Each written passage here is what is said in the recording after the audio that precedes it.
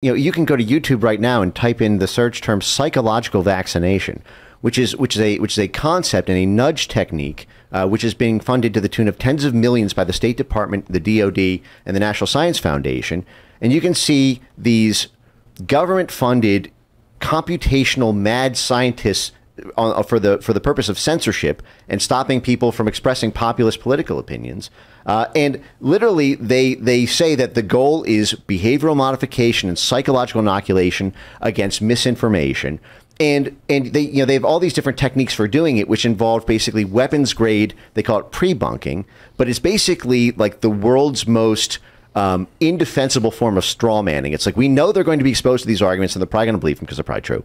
But so what we need to do is, well. is before they hear them, we're going to we're going to expose them to a really stupid version of it. Yep. And we're going to force feed them the talking points to just to show all the ways that that a little incomplete version of that is. Once they've absorbed that, we give them the next part in the argument. We straw man the ever loving hell out of that. We give them talking points for that. We put they have this whole. Uh, concept called media literacy or digital literacy, which is also getting tens of millions of dollars. It's being rolled out in schools.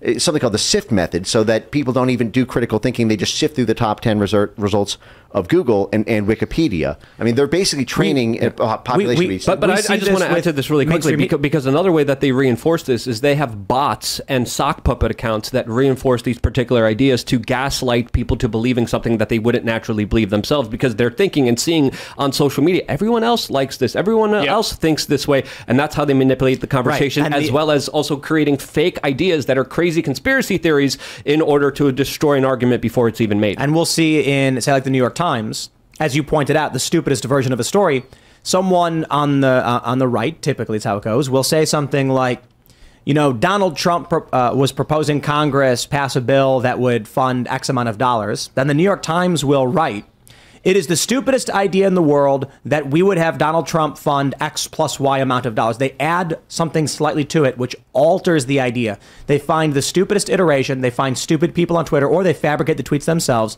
And then you'll have something like, conservatives are defending Donald Trump having, you know, kicked a dog.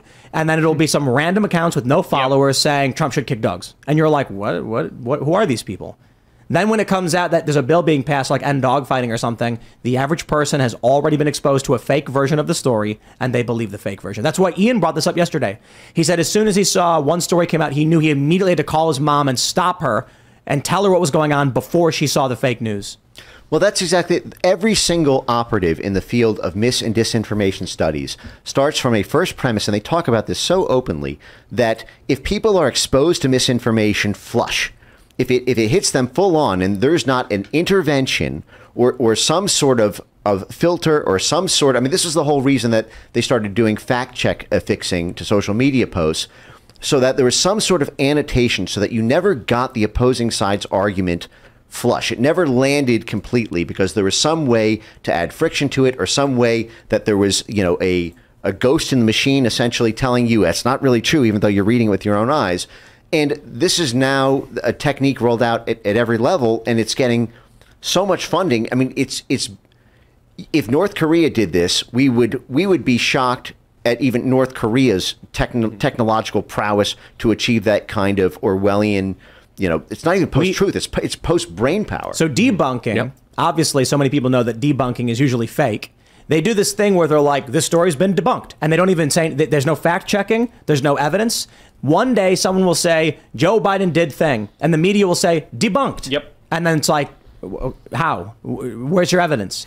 And they'll just say, oh, that story's been debunked. They, mm-hmm. they, they, will, they will write every article saying, and the theory pushed by, pushed by Republicans, comma, which has been debunked, comma, and it works. People are there's many stupid people who fall for it. Yeah, yeah absolutely. I mean, this is not this is not just them trying to to lie to the American people. It gets it gets much bigger and much deeper than this. This is the promotion of mass uh, hypnosis. This is the promotion of, of, psychological warfare that's being waged on the American people without their consent to deny them the truth and the reality that they live in every single day. It's to preserve power. It's to allow the government to do whatever they want with you. But if you dare to question what they did or or an incident incident where they hurt people or where they screwed people over or where they took your money or when they robbed you, you can't even dare to question or ask about it because you're going to have this artificial intelligence, psychological warfare, and, and emotional manipulation, gaslighting on your butt like white on rice, saying, no, you're a crazy conspiracy theorist. You need to be denied access to speech. You need to be downranked in the algorithm. And usually you are, which is absolutely freaking crazy.